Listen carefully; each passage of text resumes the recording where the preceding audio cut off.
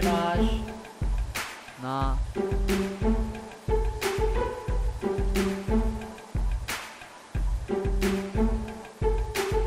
Další šifra. Někde tu musí být klíč.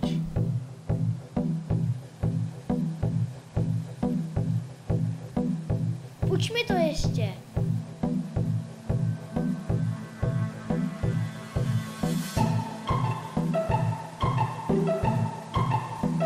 Dobře ty.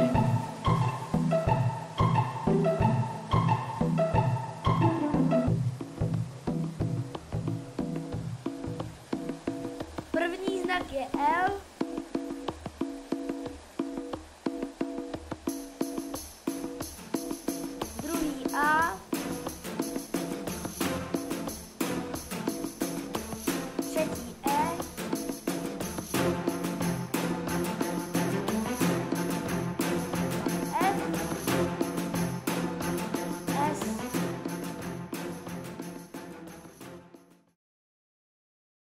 Zpráva, kterou jste viděli v upoutávce, byla zašifrována takzvanou Cézarovou šifrou. Říká se jí tak proto, že ji používal Cézar a popsal ji ve svém díle zápisky o válce galské. Je to šifra velice jednoduchá. Patří mezi monoalfabetické substituční šifry. Substituční, neboli dosazovací, je proto, že každý původní znak nahrazujeme jiným znakem. Na jiném principu pracují šifry transpoziční, které ponechávají znakům původní významy, ale podle určitého klíče přehází jejich pozice ve zprávě. Monoalfabetická je proto, že během šifrování celé zprávy používá stále stejnou šifrovou abecedu. Opakem jsou šifry polyalfabetické, které během šifrovacího procesu střídají více šifrových abeced. Díky tomu jsou složitější a bezpečnější. Když nám tedy u Cezarovy šifry stačí jen jedna abeceda, není problém si ji vytvořit. Učiníme tak pootočením šifrovacího disku o určitý počet znaků. Konkrétně Cezar používal posun o tři znaky. Takže místo A psal D, místo B psal E a tak podobně až do konce abecedy. V místě, kde abeceda končí, se začíná zase od začátku. Takže místo X se píše A a tak dále. Všimněte si, že když na jednom kotouči mám A, na druhém je u něho D. Když si však najdu znak A na druhém kotouči, na prvním u něj vidím X.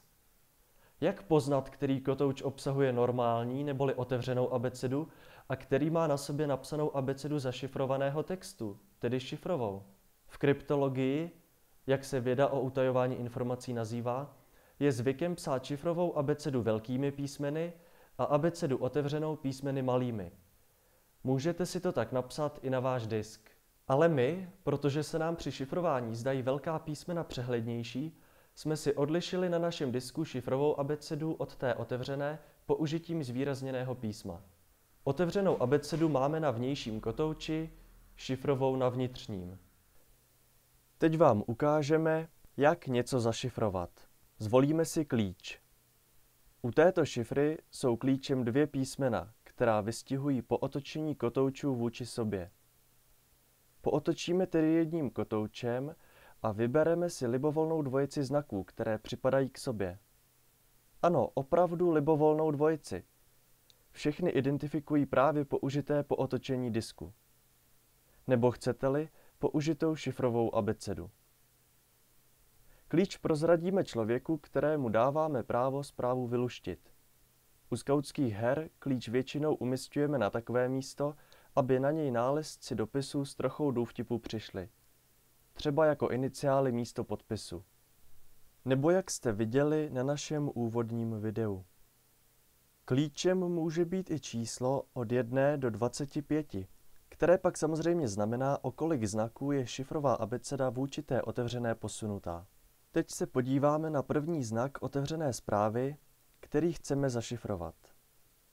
Najdeme si ho na kotouči s otevřenou abecedou a do šifrové zprávy zapíšeme znak, který se nachází u něho na šifrovém kotouči.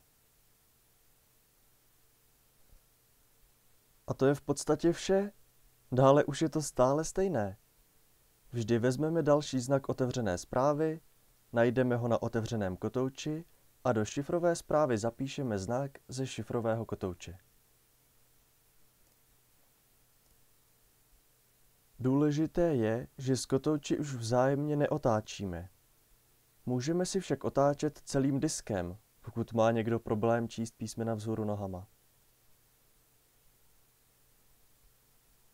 Pokud jsme to ještě neudělali a pro hladčí průběh hry chceme, neměli bychom zapomenout uvést klíč. Teď si ukážeme, jak šifrovou zprávu převést zpět na otevřenou a dostat se tak k informaci v ní ukryté. Musíme znát klíč. Nastavíme si kotouče podle klíče a jdeme na to. Vezmeme první znak šifrové zprávy, najdeme ho na šifrovém kotouči a zapíšeme si příslušný znak z otevřeného kotouče jako začátek otevřené, tedy vyluštěné zprávy. Nyní vezmeme další znak a postup se stále opakuje. Nic složitého. A co dělat, když nemáte šifrovací disk?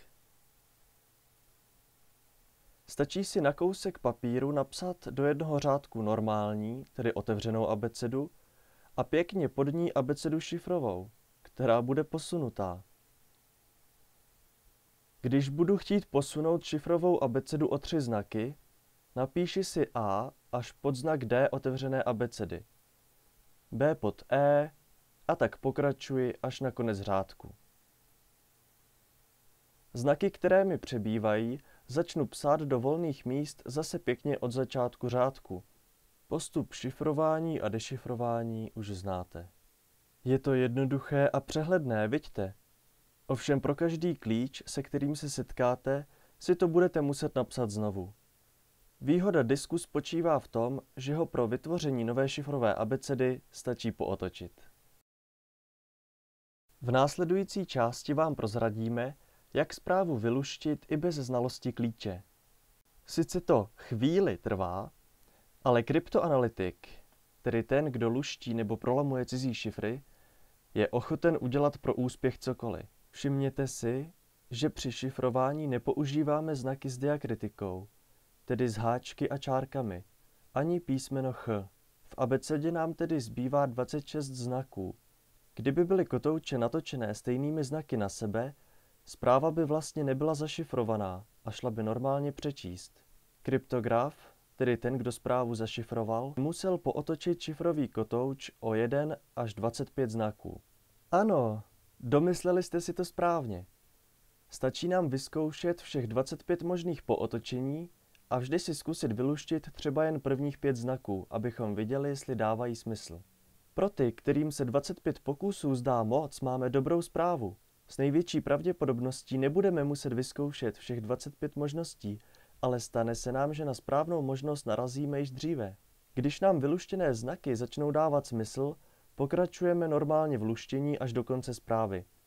Zbývající možná po otočení už pak zkoušet nemusíme. Vidíte tedy, že Cezarova šifra je sice velice oblíbená díky své jednoduchosti, ale zároveň je i málo odolná proti prolomení.